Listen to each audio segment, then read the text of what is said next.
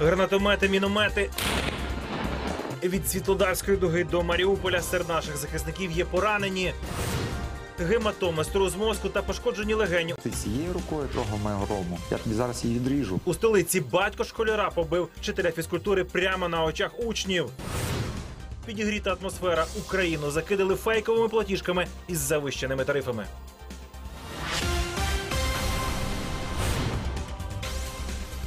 18 січня на календарі події, що вже стали історією газом, а потім кулями. У Херсоні невідомі напали на людей під час прес-конференції. Майже на 3 мільярди доларів накупували автівок звичайні українці. Та нанотехнологія дійшла до рівного вже і там, ремонтуючи дорогу, асфальт кидають просто у калюжі. Вітаю вас, це спецкор. Ми починаємо.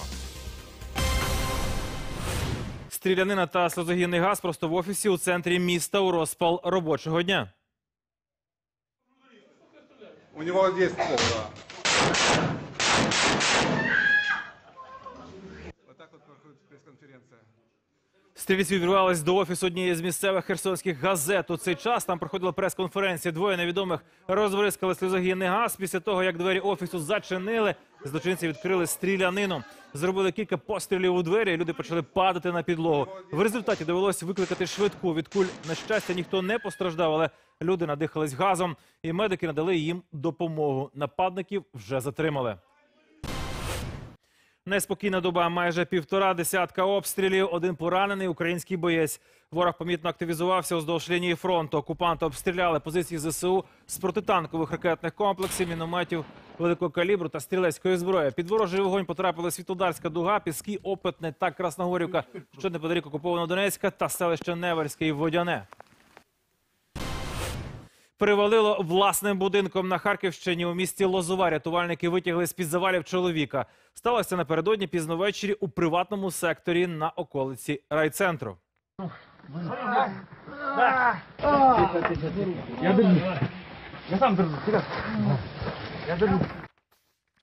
Руйнування сталося геть зненацька. Навантаження не витримали опорні конструкції будинку. Під уламками опинився 48-річний власник оселі. Він зазнав травм і самотужки вибратись з під уламків не зміг. Його довелося визволяти надзвичайникам. Чоловік дістав перелами та забиття, утім був притомний. Бійці ДСНС витягли його з під завалу та передали лікарям. Нині потерпіли у лікарні. Причини раптового обвалу встановлюють нині експерти. Пишіть листи. Нафтогаз просить киян, які отримали платіжки із значно збільшеними тарифами, фотографувати документи та надсилати їм скрін пошти. Скріншоти про це енергетична компанія попросила в себе на сторінці у Фейсбук. Тут переконані, що саме газові посередники навмисно влаштували провокацію перед виборами. Ситуацію вже прокоментував голова НАК Нафтогаз Андрій Коболєв. За його словами, існує змова між облгазами та міністерством енергетики. Причиною таких нарахувань стало те, що суд скасував зменшення норм споживання газу і відповідно набули чинності старі. А центральний орган виконавчої влади так і не встановив остаточних квот використання блакитного палива. Ось це рішення судове і, скажімо так, незрозуміла нездатність центрального органу виконавчої влади встановити остаточну правду чи істину в тому, яка повинна бути норма, і довести її в суді, вона і стала причиною цих нарахувань. Про фейкові платіжки та паніку, яку вони встигли розігнати по всій країні. Дивіться наш матеріал у другій частині програми. Щонайменше 21 людина загинула через теракт у колумбійській столиці. Перед поліцейською академією в Боготі смертник підірвав автівку, начинену вибухівкою. Серед загиблих є іноземці, зокрема громадяни Еквадору і Панами. Близько семи десятків людей травмувалися. Більшість з них госпіталізували.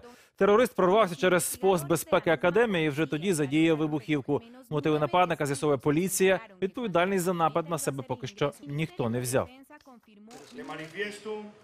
Ця атака сталася в академічному центрі, де були молоді люди і неозброєні студенти. Це атака не лише проти молоді, сил безпеки або поліції. Це напад на суспільство. Цей божевільний терористичний акт не залишиться безкарним. Батько київського школяра, який напередодні побив вчителя фізкультури, сьогодні сам прийшов до поліції давати пояснення. У відділку з'явився разом з адвокатом. Справу вже внесли до реєстру за статтею за навмисне завдання тілесних ушкоджень. Конфлікт розгорівся у одній із престижних столичних гімназій, коли четвертокласник поскаржився батькові на вчителя фізкультури. Нібито він на нього кричав і довів до сліз. Пізніше вчитель таки вибачився і перед учнем, і перед його татом. Однак це не заспокоїло розлученого батька. Той спершу вдарив викладача на шкільному подвір'ї, а потім добивав за територію ліцею. Зараз вчитель у лікарні, у нього численні гематоми, надрив легенів та струс мозку. Він достав пилу і казав: а ти цією рукою трогав мою грому, я тобі зараз її відріжу. Давай сюди руку. Я йому підтягнув руку. Він опустив пилку. Працівники поліції намагалися встановити місце знаходження підозрюваного, але сьогодні він сам з'явився Оболонське управління поліції зі своїм адвокатом та надав пояснення про те, що трапилося. Кордон з Росії хочуть контролювати прискіпливіше. У вітчизняному МЗС заговорили про запровадження біометричного візового режиму з країною-агресоркою. Для цього росіянам потрібно буде звернутися по дозвіл на в'їзд, зібрати документи для отримання візи та пройти процедуру е, дактилоскопії. Чи убезпечать нові правила перетину кордону від агентів ФСБ та чим це обернеться для українців, які працюють у Російській Федерації? Питання вивчала Маргарита Потапова. Столичний залізничний вокзал, потяг Кишинів Москва. На пероні переважно чоловіки. Чому прямують у Росію, не зізнаються. станції метрополітену.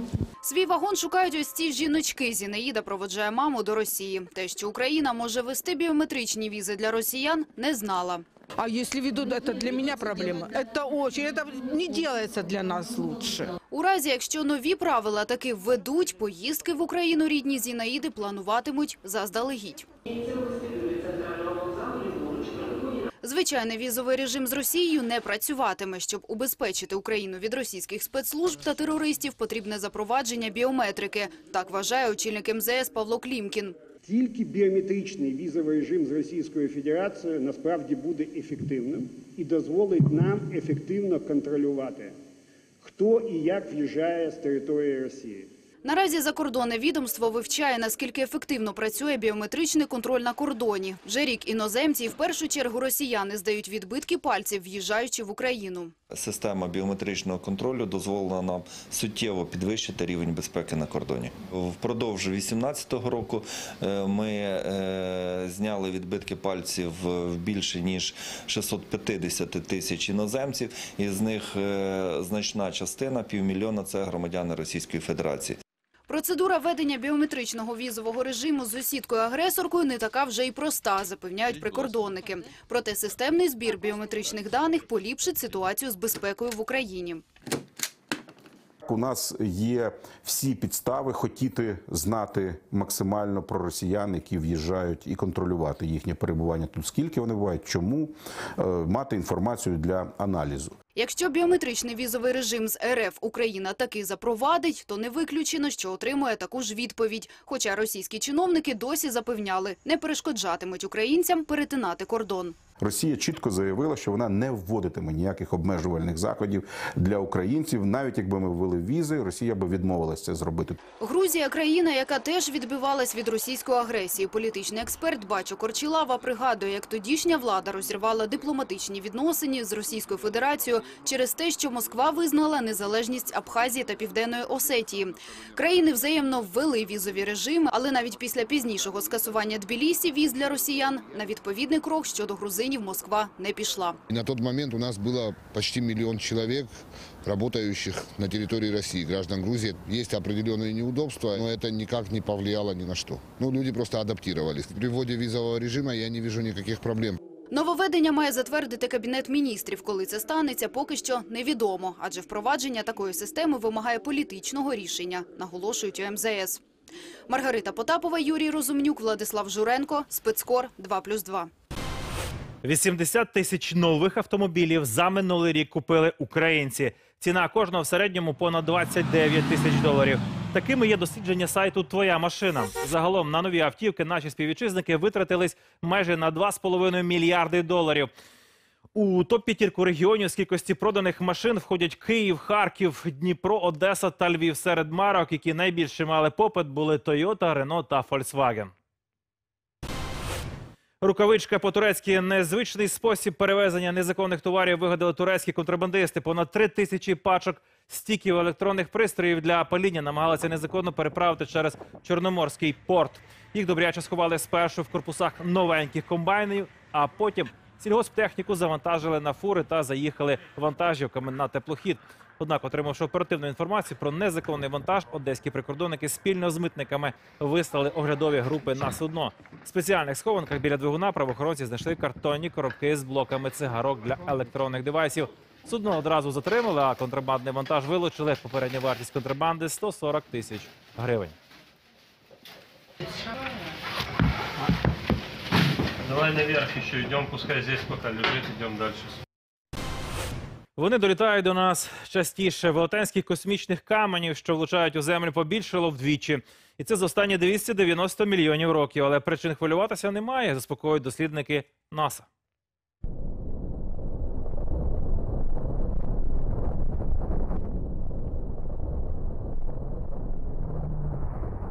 Астрофізики з Канади, Великої Британії та США склали перелік кратерів від ударів астероїдів на поверхні Землі та місяця. Рахували лише більше за 20 кілометрів в діаметрі, а також встановили вік велетенських вирв. Виявилось, що за останні 290 мільйонів років таких кратерів утворилось 29, тоді як ще давніших лише 9. Дослідники вважають, що молодих кратерів на землі насправді в десятеро більше, адже деякі з них заховані під льодовиками і на дні океанів. Тому для дослідження краще пасує місяць. Він близько до землі і неминуче потрапляє під астероїдні атаки. Попри астероїдну активність у списку найбільших космічних тіл, який склали в НАСА, немає таких, щоб загрожували нашій цивілізації. Щебінь у калюжу шляховиків, які так ремонтують ями на дорозі, зафільмували перехожі у Рівному. Один із працівників лопатою в калюжі вимірював глибину вибоїни, а інший з вантажівки скидав туди відсів, який просто зникав під водою. Відео такого латання ям рівняни назвали нанотехнологією, виклали його до соцмережі. Лише за кілька годин відзняти набрало сотні поширень та десятки гнівних коментарів до шляховиків. В полоні у негоди австрійським рятувальникам довелося розчищати завалену снігом дорогу, яка відрізала від світу цілий монастир.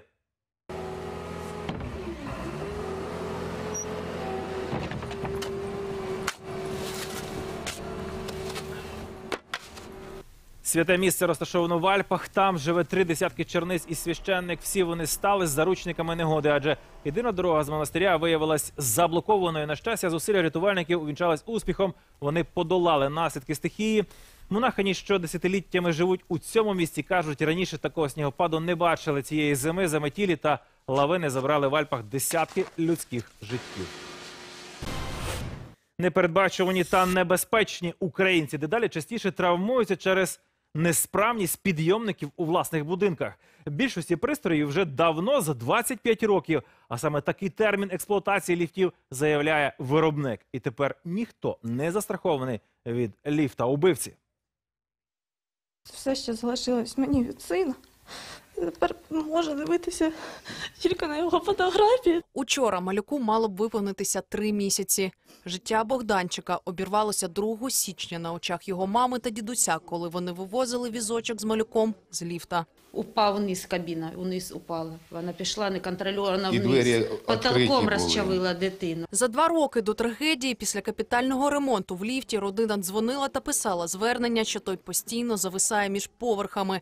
Їм відповідали, що це притираються деталі, і ліфт справний. У справі нині що двоє підозрюваних під домашнім арештом. Керівник підприємства міськ Сумиліфт та електромонтер, що під час ремонту ліфта під'єднав дріт до двох клем і зробив можливим рух підйомника з відчиненими дверима. Сам електромонтер, який здійснював ці роботи, він це підтвердив. Він його не відключив і так залишив. І е, в зв'язку з цим, мабуть, це поки припущення, це скаже експертиза вже остаточно. Мабуть, і почалося оце некероване падіння ліфта. Тим часом у Сумах розпочали позапланову перевірку усіх ліфтів, щоб з'ясувати, чи є ще такі, що несуть загрозу для мешканців інших багатоповерхівок. 79 підйомників вже зупинили. Українці дедалі частіше стають жертвами ліфтів. Усе через їхню застарілість. Термін придатності ліфтів 25 років. І у більшості будинків він вже давно закінчився. Підйомнику у цьому будинку у Києві 44 роки. Коли я захожу в ліфт, я роблю ось так. На наступний день після трагедії у Сумах тут у ліфті летіла бабуся з онуком. Марк перелякався, а його бабуся утримала перелам перенісся. Лифт э, поехал резко вверх, а потом резко вниз. Но, слава богу, сработали, тормоз- тормозной трос сработал. Я не знаю, что лифт очень резко остановился. И в этот момент мама упала, перевернулась коляска. Зараз ліфт вимкнули. І це не перший випадок, коли саме тут травмуються пасажири. 77-річна Людмила Олександрівна відтоді ходить, опираючись на тростину. Он с такой силостью понес вниз, что я очутилась в этом лифте аж в подвале. Я ударилась спиной, упала. Керуюча компанія запевняє, ліфт замінять вже цього року. А поки що люди змушені ходити пішки. По техническому состоянию он очень-очень плохой. Учитывая, что уже там э, ну, привод, лебедка, б- большой комплекс э, деталей уже изношены очень, принято решение, что его нужно заменить в этом году полностью. Родині Поліщуків пощастило. Їх сина, двомісячного Арона, встигла витягнути з візочку, який трощив ліфт няня.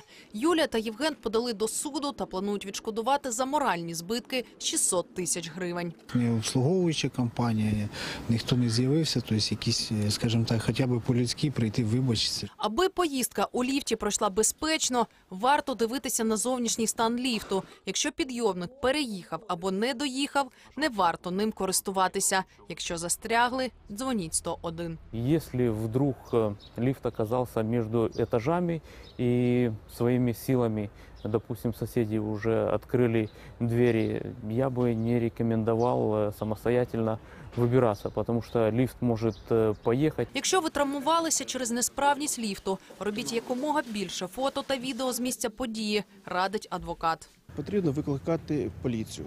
Далі е, здійснювати фотографування. Бо якщо поліція своєчасно не приїде, то може приїхати обслуговуюча компанія, вона запустить ліфт і фактично знищить ті е, сліди е, злочину. У Сумах адвокат родини, де загинув хлопчик, домагається визнання потерпілими усіх членів сім'ї та планує подавати позов про стягнення моральної шкоди.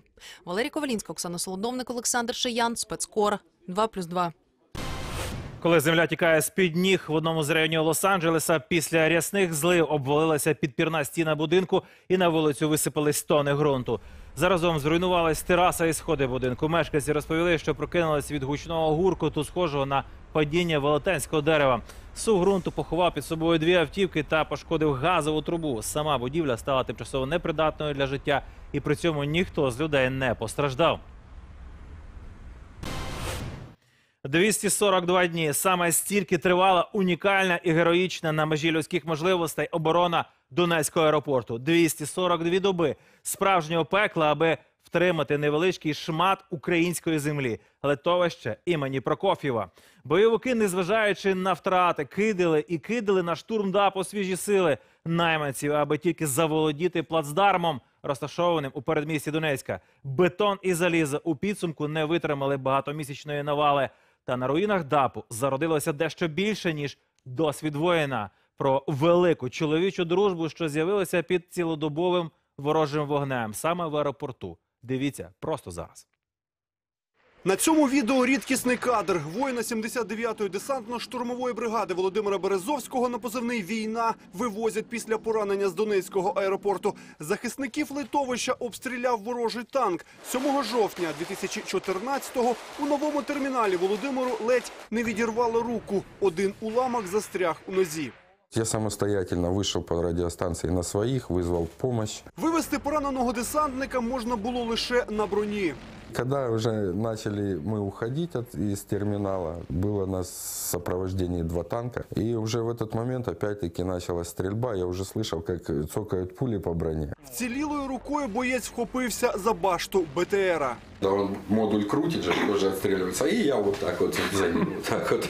Війна одужав, руку полатали. Тепер він працює у військоматі, одружився і виховує двох дітей. Каже, попри все, ні про що не шкодує, бо там, у самому пеклі війни, коли захищав країну від окупантів в окопах і смертельно небезпечних коридорах ДАПу, знайшов справжніх друзів. Це добровольці буремної весни 2014-го. Війна, байкер і Гарік. Вояки познайомилися вже у війську і разом потрапили до 79-ки. Десантники звільняли українські міста від російських терористів і так само разом билися у самому центрі земного пекла Донецькому аеропорту.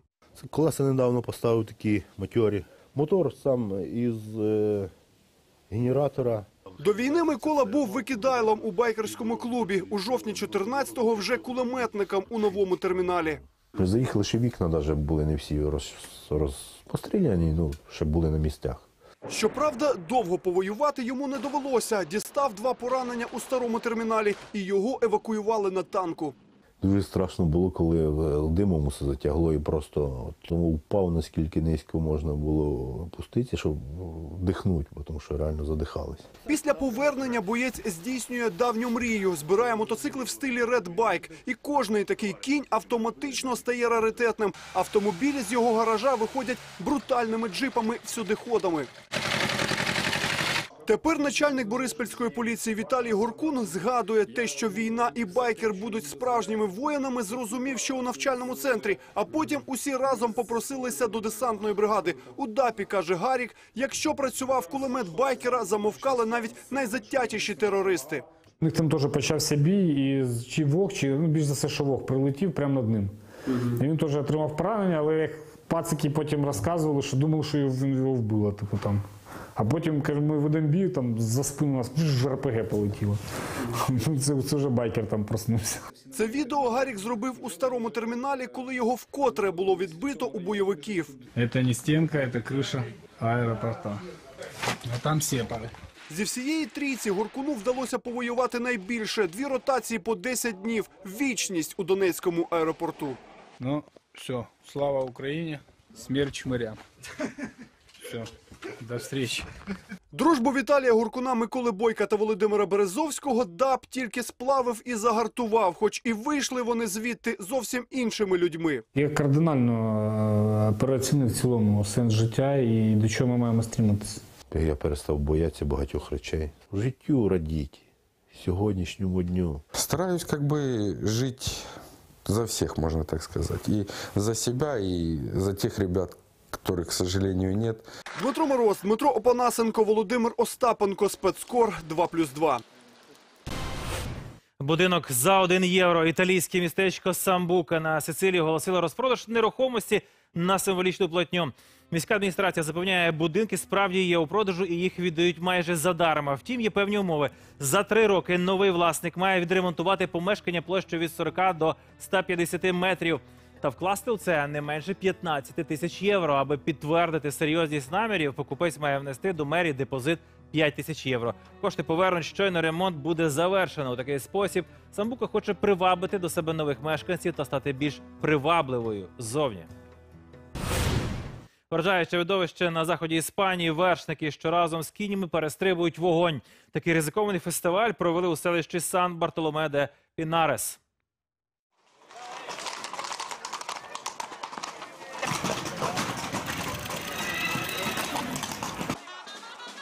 Проводять його щороку. Традиція виникла, коли селище охопила смертельна чума і загинуло багато тварин. За повір'ями, очистити їх та захистити на цілий рік можна за допомогою диму. Тож дотепер десятки власників привозять своїх коней, аби ті взяли участь у забаві. Зоозахисники критикують учасників фестивалю за жорстоке ставлення до тварин. Ті ж відповідають, намагаються подбати про коней якнайкраще, аби вони не постраждали. Особливо ретельно заплітають їхні гриви, щоб волосся не знищив вогонь. Привиди у спортивній школі або що приніс руський мір на Донбас. Не перемикайтесь. Тони снігу на Закарпатті зійшла лавина. Засипало дорогу Мукачево Рогатин. Шар снігу сягав двох метрів. З турботою про містян свіженькі платіжки шокували херсонців. Тарифи виявились непідйомними.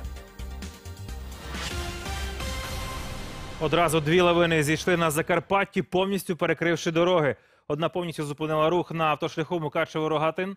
Величезна маса мокрого снігу з'їхала з гори поблизу туристичного знаку Центр Європи на Рахівщині. Шар снігу сягав двох метрів. У момент сову снігу траса була порожньою, тож ніхто не постраждав. Обійшлося без жертв під час сходження другої лавини біля села Усть-Чорна.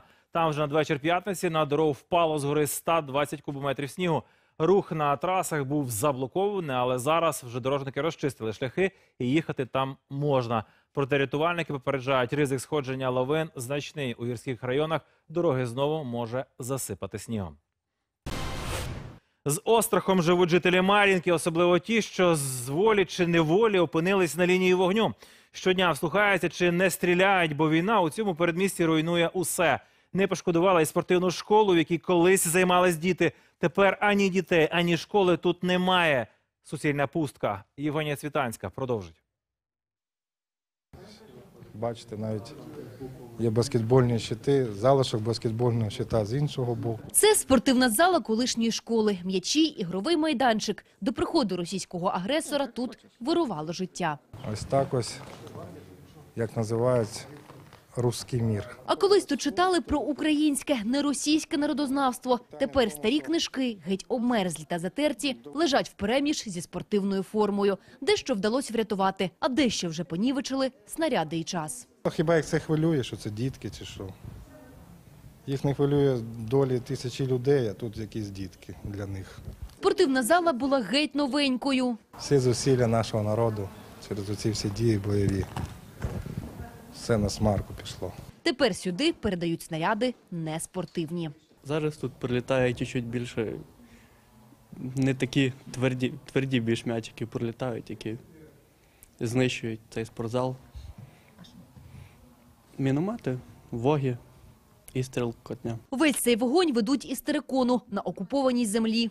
Після загострення на фронті, коли протитанкова керована ракета влучила в Урал і ми мали 10 постраждалих, зараз на передовій напруга дещо спала. Але попри все, станом на світлодобу маємо одного пораненого. Цей період не порівняти з тим, що було до свят, зізнається Іван. В принципе, тихо, движение, как раньше, не замечаем. Тоже прострелов меньше стало. Але підозрює, то затища перед бурею. Загострення бояться і нечасті жителі цих крайніх вулиць. Нам якби вже закінчилася війна, то. Лідія Кондратівна запрошує до себе. Живе із дочкою. Навіть у найзапекліші дні боїв нікуди не збиралась виїжджати. Думала, що недовго воно буде. Две недели все закончится. Ну, и ждем, что все наладится, все прекратится, все вот вот вот вот вот. И так каждый день. На спокій кожну наступну добу таки сподіваються вже п'ятий рік поспіль. З Донеччини Євгенія Цвітанська, Микола Ворич, Микола Головко. Спецкор 2+,2. Приголомшливе переслідування у Сполучених Штатах. Американська поліція гналася за підозрюваними у пограбуванні банків. Інцидент стався у штаті Техас. В один з його банків увірвалось четверо грабіжників. Жінку затримали на місці, але троє із спільників втекли. Саме їх і ловили копи. Зупинилася машина із зловмисниками тоді, коли в'їхала у поле. Підозрювані кинулись на втьоки, але їх усіх заарештували. Як пересувалися тварини 300 мільйонів років тому? Відповідь на це питання мають німецькі вчені. Зі скелета давньої істоти вони створили робота.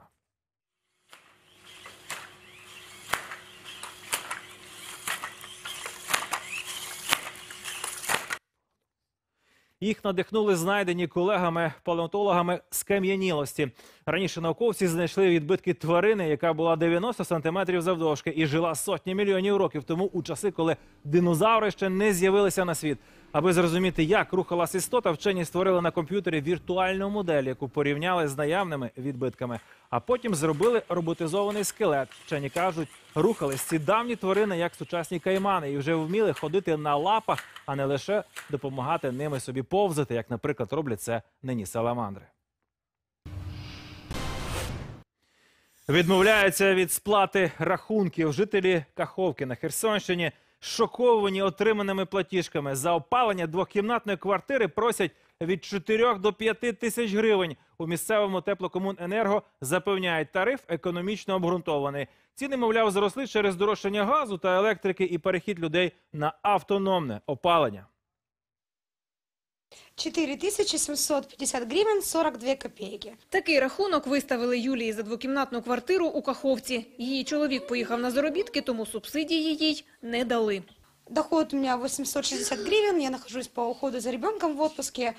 Ну вот, как платить, вопрос, как у всех жителей нашего дома. Как и чем. У будинку, де мешкає Юлія, є лічильник на тепло. Кілька тижнів його ремонтували, а людям порахували обігрів за тарифом, як для будинків без лічильника – понад 82 гривні за квадратний метр. Так, удвічі дорожче з цього місяця мають платити і мешканці сусідніх будинків, де лічильників немає. 5643 гривны 33 копейки. За, за какой период? А это за декабрь пришел. То есть тарифы поднимаются через каждые 2-3 месяца. То есть уже за один сезон второе подорожание. Люди не знають, як оплатити ці рахунки, адже навіть із субсидіями вони перевищують пенсії та зарплати. Пенсія 1600, 2400 платить. Сколько нужно получать, чтобы заплатить только за одно отопление 5000? За 49 квадратов 4104 гривны. Субсидий у меня нет. Все, минимальная заработная плата. У Каховському теплокомуненерго кажуть, такий тариф економічно обґрунтований. 70% у ньому – це газ і електрика, які здорожчали на третину. А ще заробітна плата працівників, витрати на ремонт та обладнання. І основна причина здорожчання – це те, що майже 60% абонентів перейшли на автономне опалення. Опалення площа е, зменшується і е, як висновок з цього йде, що затрати розподіляються на меншу кількість абонентів, на меншу площу, яка опалюється. Е, Кількість абонентів зменшилась на 58%. Те, що тариф на тепло у Каховці чи не найвищий в Україні, міського голову не дивує. Він закликає людей переходити на автономне опалення, а отже і платити менше. Каже, вже розроблена програма, яка б зобов'язала усіх містян обігріватися лише індивідуально, але її ще не затвердили депутати. Щоправда, до того її запровадили у нових мікрорайонах Каховки, і зараз комунальним теплом користуються лише жителі центру Мы не будем компенсировать разницу тарифов за деньги каховских налоговых плат- каховских платников податков. Я еще раз призываю всех жителей центрального восточного города переходить на автономку, мы такое добро даем. Это выгодно, удобно и эффективно. Але перейти на новий вид обігріву квартир жителі зможуть лише у наступному сезоні. А зараз вимагають обґрунтування розрахунків і збираються нові захмарні суми у платіжках оскаржувати. Олена Ваніна, Андрій Ванін, Херсонщина, Спецкор. 2+,2.